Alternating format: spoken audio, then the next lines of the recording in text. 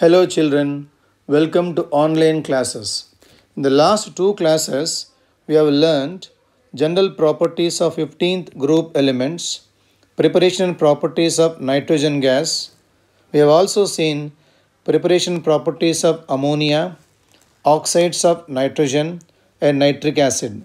Today we are going to learn phosphorus and the compounds of phosphorus. So first, we'll be discussing the halides of phosphorus. Phosphorus forms two types of halides, trihalides of say PCl3, pentahalides say of PCl5. Let us see first trihalides that is of PCl3. PCl3 can be prepared by direct combination of chlorine with hot white phosphorus now. So P phosphorus plus chlorine will give rise to PCl3. So here the phosphorus must be white because white itself is more reactive in nature and chlorine must be in limited quantity because when you take chlorine excess quantity we are going to get PCl5. So phosphorus with Cl2 limited quantity of Cl2 we get PCl3.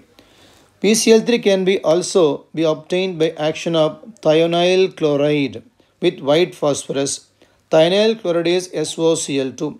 So by action of SOCl2 on white phosphorus also gives us PCl3 molecule. So these are the two preparations of PCl3. One is from elements itself, one is by action of SOCl2 on P4 molecule. Now let us see properties of PCl3. First one, the PCl3 is colorless oily liquid and hydrolyzes in the moisture. So when it reacts with the moisture, it forms um, H3PO3. During hydrolysis reactions, we can remember one point.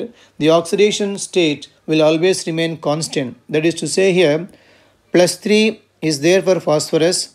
It's also forming here once again plus 3 state of phosphorus here.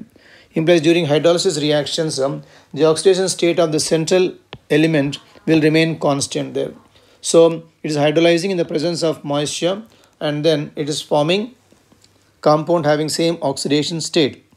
It reacts with organic compounds containing OH group and forms respective chlorides. Forms respective chlorides.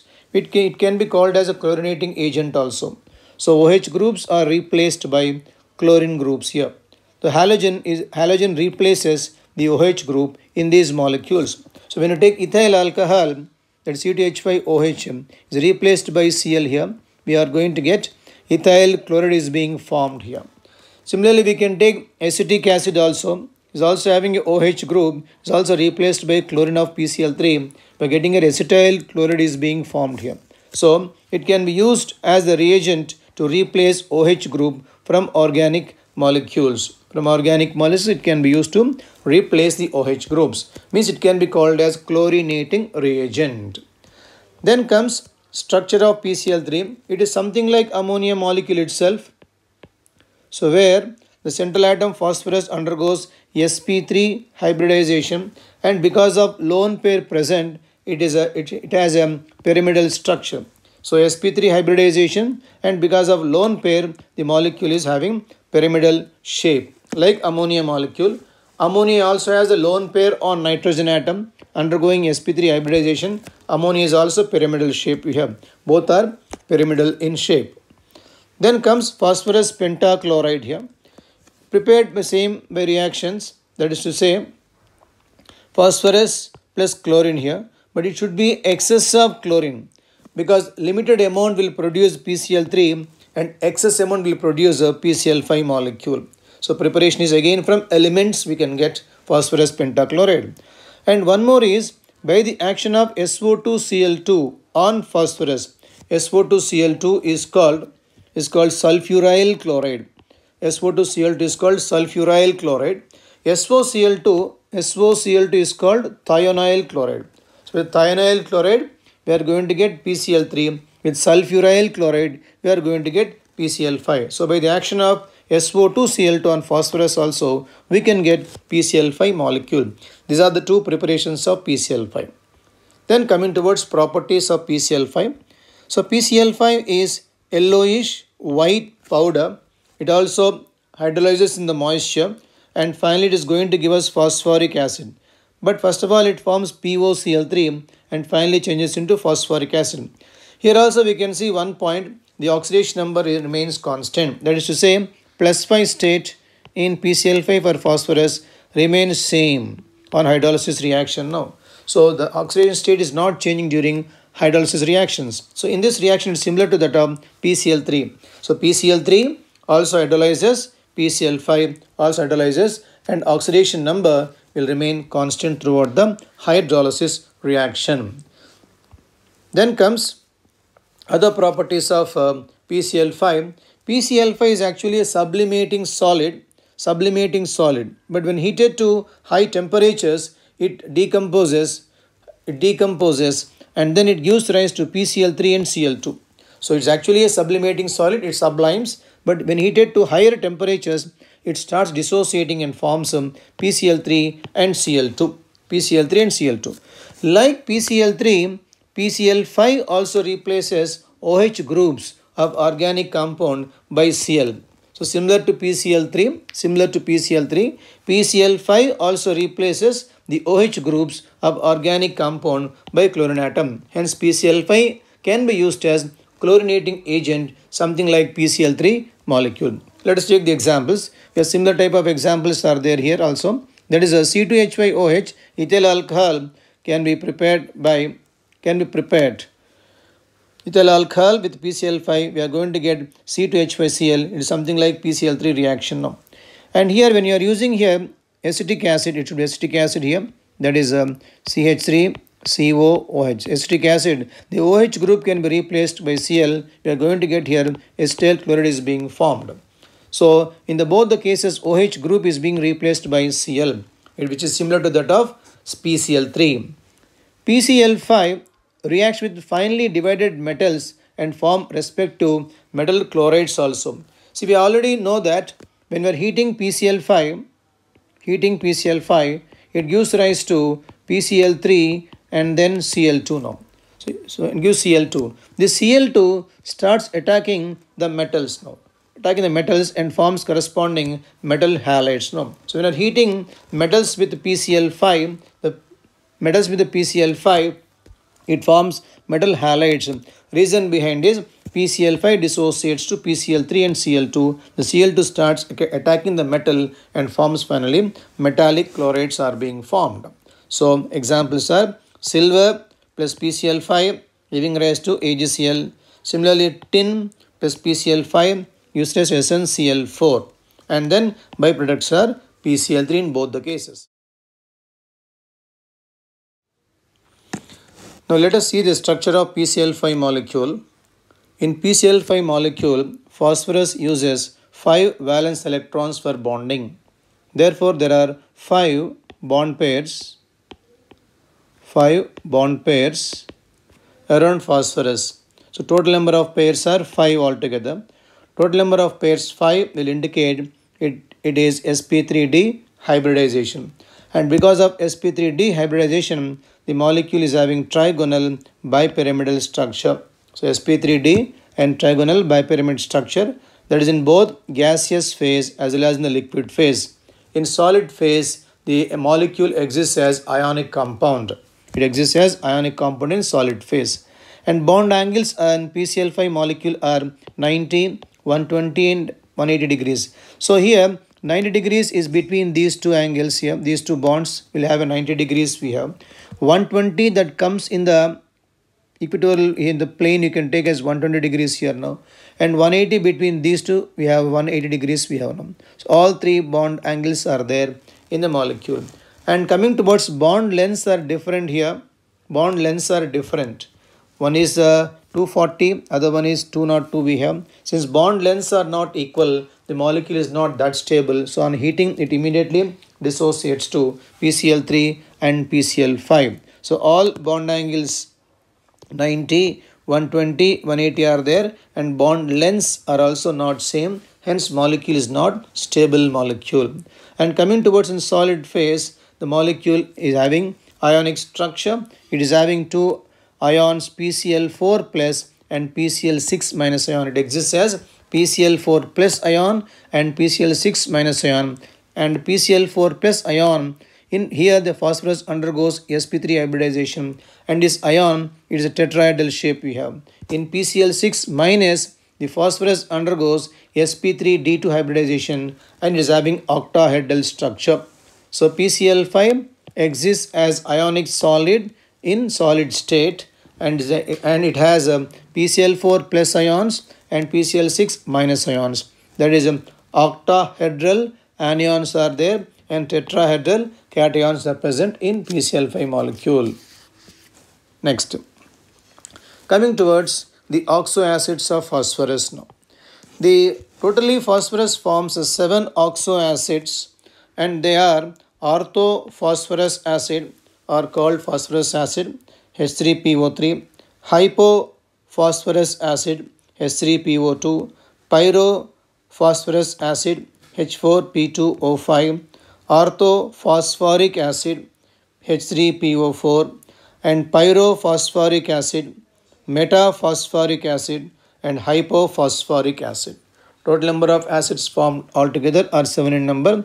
Let us see once again. Orthophosphorous acid, hypophosphorous acid, pyrophosphorous acid, orthophosphoric acid, then pyrophosphoric acid, metaphosphoric acid and hypophosphoric acid we have. In all these molecules here, in all these molecules, the phosphorus is basically having tetrahedral structure. It is surrounded by that is it is surrounded by other atoms tetrahedrally means in all these acids um, it is having one PO bond and one POH bond in minimum and oxo acids with the phosphorus in lower oxidation state they are going to get they are they will be having either p p bond or as ph bond in addition to po and poh bonds. Po and poh bonds. Let us see for example say h3po3 if you take h3po3 having lower oxidation state here. So phosphorus has one po bond here. And is having two poh groups are there. It has a one hydrogen bonded to phosphorus now so if you have a lower oxidation state here, the molecule has either P, P bond or else it is having PH bond. In this case, PH bond is present. The oxidation state of phosphorus here is plus 3 state, nothing but lower oxidation state we have. So in the case of lower states only, the phosphorus contains PH bonds or else it can be having PP bonds also. Now let us see the structure of oxo acids of phosphorus altogether. So find the structures. We have one PO bond is there and we have definitely one POH group now. Others can be directly hydrogens bonded to this. It can be sometimes phosphorus also bonded to this we have. Let us see the nature of these two groups now. And here the OH group is ionizable group. Oxygen is being more electronegative when compared to hydrogen here. It takes away complete electron pair and gives very easily H plus. Means the OH group here very easily dissociates and gives rise to H plus ion. Easily ionizable group we have known. So because of this we can say it is showing the acidic properties. So replaceable H plus is there because of OH group now. When it comes to the H and then P bond here, both are having same electronegativities. Both have same electronegativities.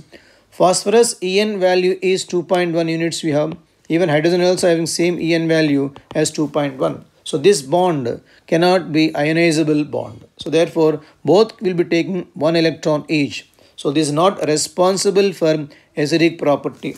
So POH group is responsible for acidic property of the oxo acids and pH group is not responsible for acidic property. It is basically responsible for reducing property of the oxo acid. If we have more number of pH groups, that is going to be more reducing in nature. If we have more number of OH groups, that will be more oxidizing in nature as well as it is going to exhibit acidic property. Let us now draw the structures of all oxo acids now. Now let us see the points once again. Only those hydrogen atoms which are attached to the oxygen that is in POH bond are ionizable and give us H plus structure. Means only these bonds are ionizable there now. And pH bonds in oxoacid are not ionizable and do not give H plus ions. Means these are not giving any H plus ions there now. Hence, these hydrogen atoms do not play any role in basicity.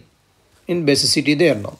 And they are responsible only for reducing property of the oxoacids. So if at all H is bonded to phosphorus here, they are responsible for reducing property. They are not responsible for acidic property of the phosphorus.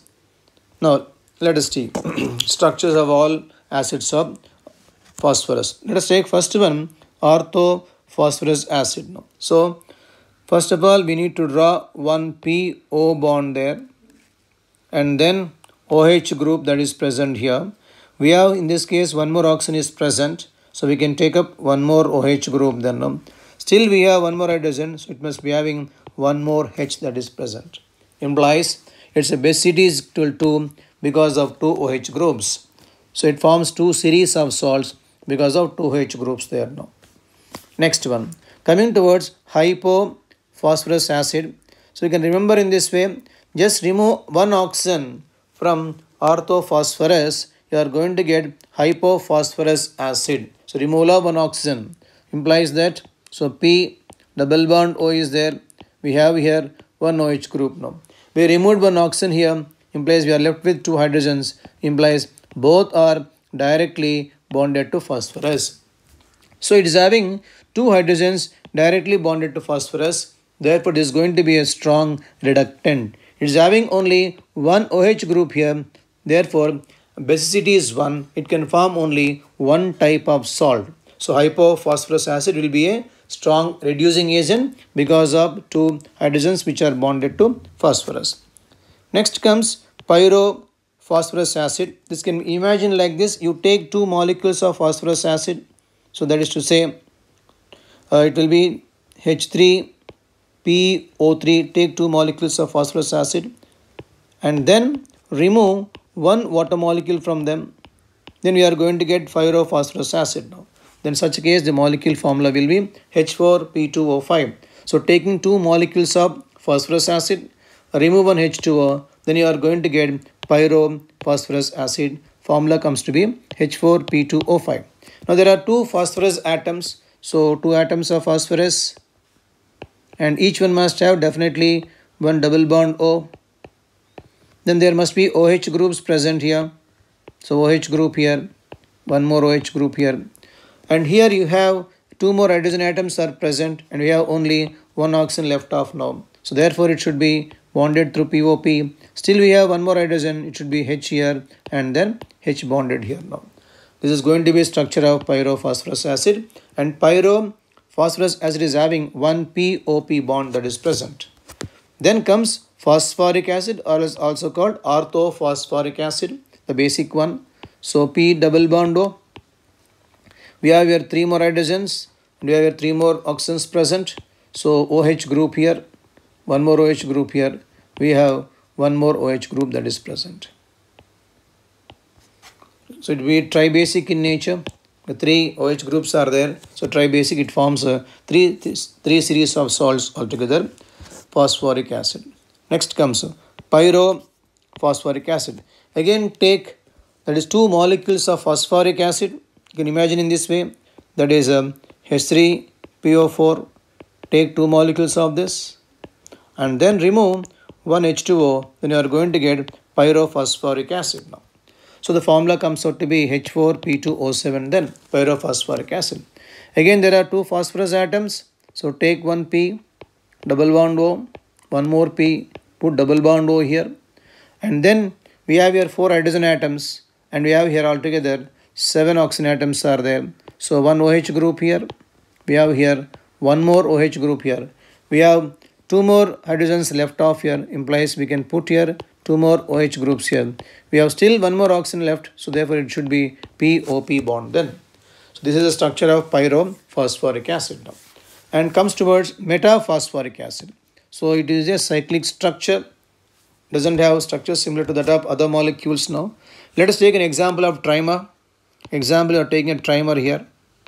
Means where n is equal to 3. So phosphorus, phosphorus and phosphorus here. So one double bond O, one OH group, one double bond O, and then one OH group here. One double bond O, one OH group here. And join all through one oxygen atom. So oxygen atom here, one oxygen atom here, and one oxygen atom here now. It will be a cyclic trimer. We can even draw a tetramer, pentamer, hexamer, and so on and so forth. So metaphosphoric acid exists as a cyclic structure. So HPO3 taken n times. Now each P is having one OH group and one double bond O. So these are the st various structures of oxo acids of phosphorus. Now coming towards properties which you have seen. That is properties of oxo phosphorus. From these structures we have seen that hypophosphorous is having two pH groups. It is going to be a very good reducing agent then now. So pH groups are responsible for reducing property is having two hence is a very good reducing agent. So for example when you are when you are seeing some metal nitrates say AgNO3 it is very easily reduced to corresponding metal using here hypophosphorous acid. So the hydrogens which are bonded to phosphorus are responsible for reducing property of this acid and therefore we can say hypophosphorous acid is a good reducing agent. It reduces the metal nitrates to corresponding metal, one of the important property of the oxy acids of phosphorus. Then comes phosphorus, various allotropic forms of phosphorus. Three forms are there for phosphorus, white phosphorus, red phosphorus and black phosphorus we have, white, red and black phosphorus we have.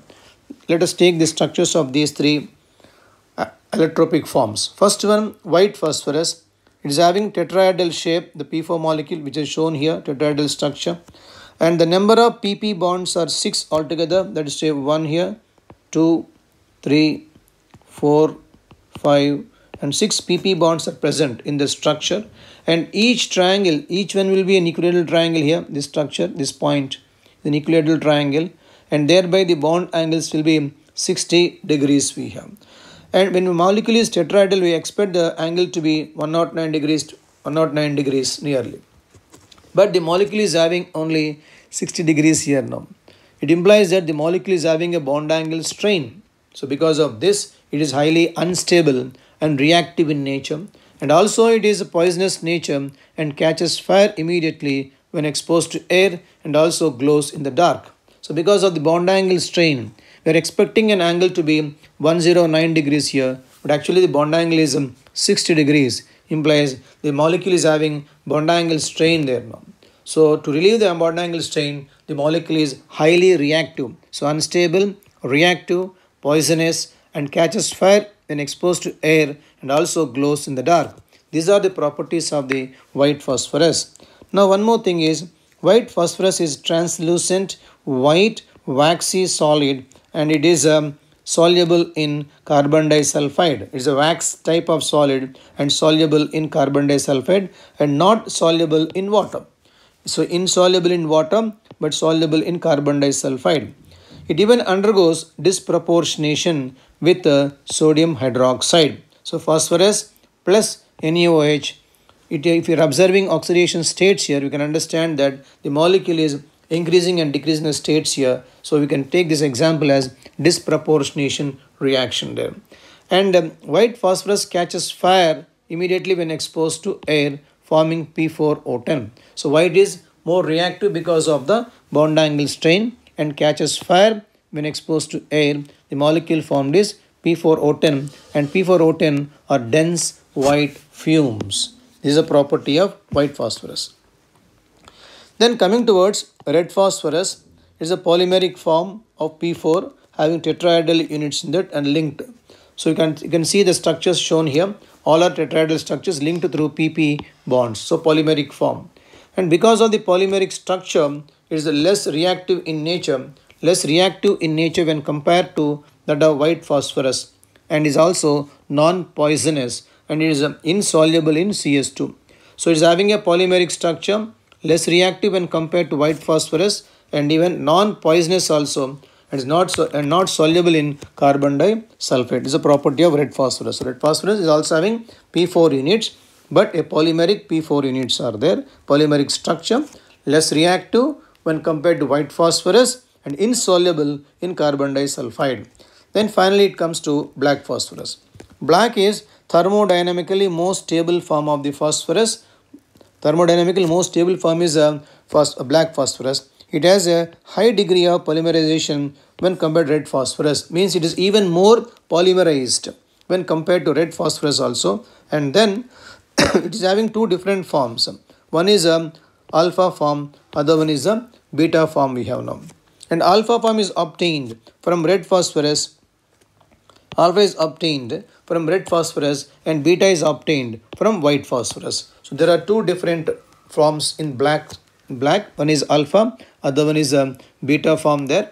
So alpha is obtained from red phosphorus and beta is obtained from white phosphorus regarding the black phosphorus. So black phosphorus is the most stable form and is having higher degree of polymerization. That is, it is even more polymerized when compared to red phosphorus and more stable form. Then another compound of which is called phosphine. It is something like ammonia. Something like ammonia we can say is also hydride of uh, hydride of 15th group element phosphine. It is prepared by the action of calcium phosphide with water or dilute HCl. So calcium phosphide on hydrolysis gives phosphine gas. Byproduct is calcium hydroxide. If you take HCl, it is forming CaCl as a byproduct, phosphine gas. So calcium phosphide on action with water or dilute HCl, you are going to get phosphine gas now. It is also prepared by the action of white phosphorus with alkali. Just now we have seen one of the properties of white phosphorus here. That is your white phosphorus reacts with NaOH and produces phosphine there. The same reaction we are using here as one of the properties of white phosphorus here. So white phosphorus with alkali also produces PH3. These are the preparations of the phosphine gas we have.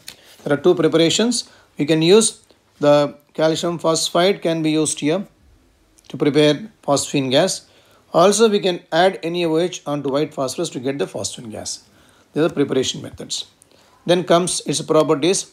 Colorless gas with rotten fish smell and highly poisonous in nature now. If it if the pure, when pure, it is non-inflammable but catches fire due to presence of impurities mainly such as diphosphine, P2H2 and phosphorus vapors along with that. So when pure, it is not inflammable but catches fire only because of impurities present, because of impurities that are present along with, the, along with it. Diphosphine, P2H4 and phosphorus vapors are impurities along with the phosphine gas now. It also explodes when it, com when, when it comes in contact with the traces of oxidizing agents like HNO3, Cl2 and Br2. So explodes when comes in contact with the traces of oxidizing agents and it is slightly soluble in water. Actually ammonia is freely soluble and PH3 is slightly soluble because PH3 cannot form hydrogen bonding like ammonia. Next, the phosphine solution, solution of phosphine in water decomposes in the presence of light giving rise to red phosphorus as well as the hydrogen there. Means if we take a reaction like PH3, should taken in water solution of PH3 there. Presence of sunlight now. It dissociates and gives red phosphorus.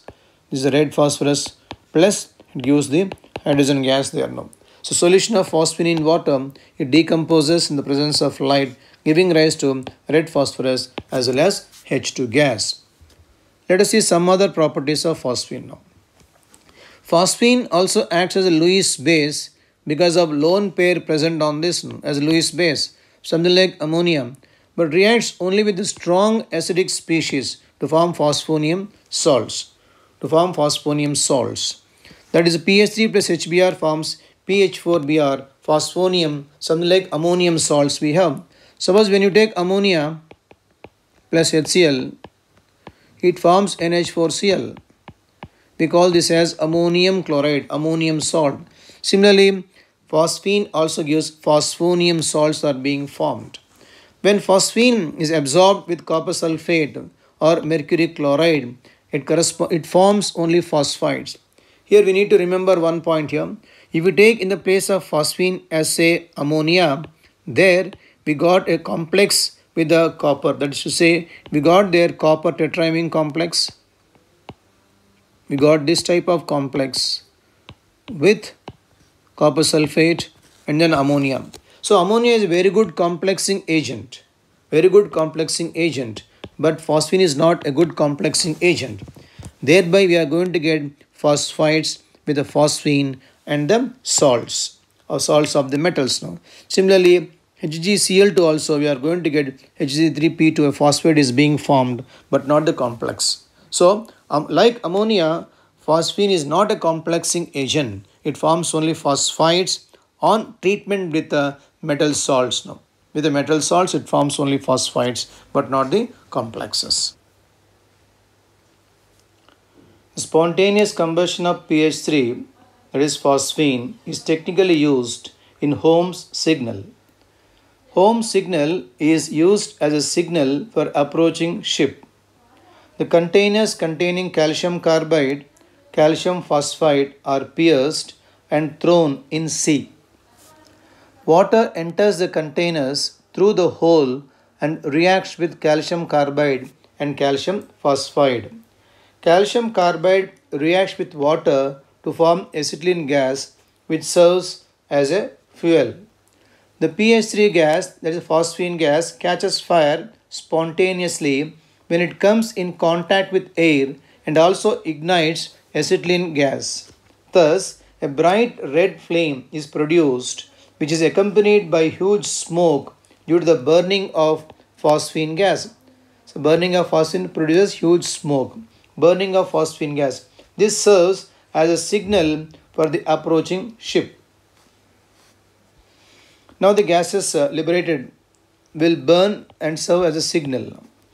Now calcium phosphate is giving us phosphine gas, also gives us diphosphine gas which catch fire easily now. Calcium carbide used as acetylene gas is actually used as a fuel, fuel in the Holme signal. Now we have come to an end. Let us see what we have learned today.